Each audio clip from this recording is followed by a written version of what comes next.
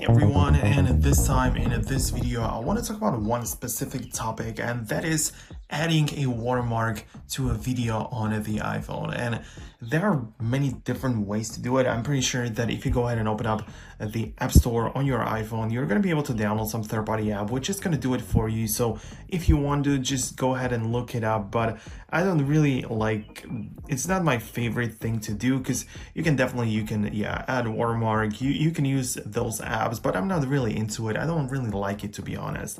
I really enjoy and prefer the the manual method. So let's say that you shoot a random video, whatever it is. So you go to your camera, you shoot a video like this, whatever it is, and you're done. Okay, so you finished the video and I want you to download a software or an application called CapCut. It's a great video editor. This is what it looks like. And I just want you to go ahead and install it on your iPhone. When you open it up and create a new project, so you're to import the latest video right here, click on add, and you pretty much just end up with this project. You can delete the, the ending outro with their logo, just like I do. And, and right now, the way you can add a watermark is definitely just up to you. So you can do whatever you want.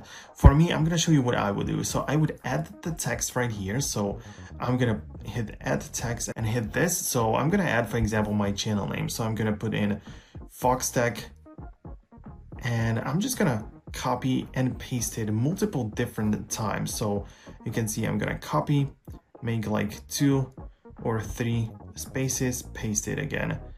Do it like this and paste it again. So I'm gonna repeat this multiple different times until I end up with this uh, with this thing, this is what it looks like. Now, I'm gonna just uh, grab the text like this and I'm just gonna like make sure that it stretches all over my video. Right now, you can literally just play around with it.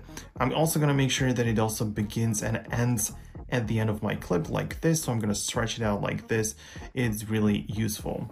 But what I'm gonna do now is click on it again and I want to also adjust some different things about I can make it a smaller or a larger and this is how you can add some kind of a manual watermark to your video. So you can choose different font different effects different style.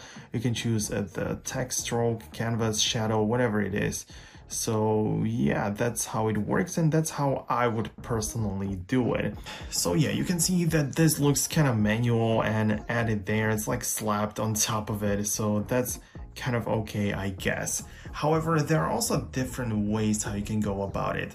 In case you manage to create some kind of uh, file that you would put on top of your video, let's say it's going to be an image, that you can also just go ahead and import from your gallery, whatever it is. So you can import, for example, this little thing. So if you just put it on top of it, so I'm going to choose this picture right here and tap on overlay and you can see that it is right on the top of it.